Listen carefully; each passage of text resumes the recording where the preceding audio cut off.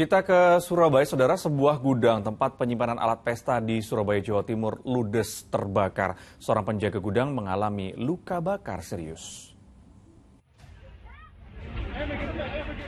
Kobaran api yang membakar gudang milik salah satu event organizer di Jalan Pisces, Ploso Timur, Surabaya, Jawa Timur pada minggu siang membuat para pekerja panik. Api pertama kali muncul dari lantai dua gudang. Si jago merah dengan cepat membesar menghanguskan peralatan alat pesta yang disimpan di dalam gudang. Seorang penjaga gudang mengalami luka bakar karena ia sedang tidur saat kebakaran terjadi. Yang luka kebakar satu, langsung dibawa ke sana. Parah mas, seperti apa? Apanya? Kondisinya? Waduh, udah lemas pak. Udah kebakar, pokoknya udah sakit, panas. Mereka lagi ketiduran. Petugas damkar dari pemerintah kota Surabaya yang menerjunkan 14 mobil damkar mengalami kesulitan menuju lokasi karena akses jalan yang sempit. Setelah satu jam berjibaku, petugas akhirnya bisa memadamkan api. Dugaan sementara penyebab kebakaran akibat korsleting listrik. Api ada di lantai dua. Pas dicek di atas, di lantai dua itu memang banyak piranti-piranti komputer ya, kayak barang-barang elektronik yang sana. Dugaan Ya, sementara dari situ. Dugaannya apa nih?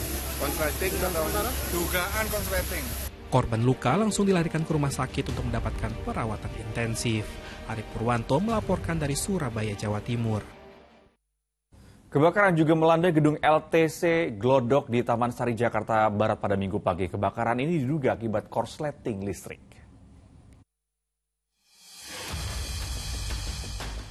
Asap tebal terlihat dari lantai 6 LTC Glodok di Taman Sari. Kebakaran ini diduga akibat korsleting listrik pada mesin blower yang berada di lantai 6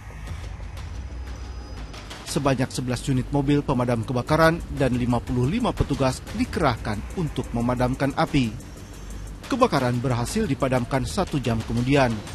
Tidak ada korban jiwa akibat kebakaran, sementara kerugian ditaksir mencapai ratusan juta rupiah. LTC Glodok merupakan pusat perbelanjaan perlengkapan listrik dan elektronik. Abdul Haris melaporkan dari Jakarta.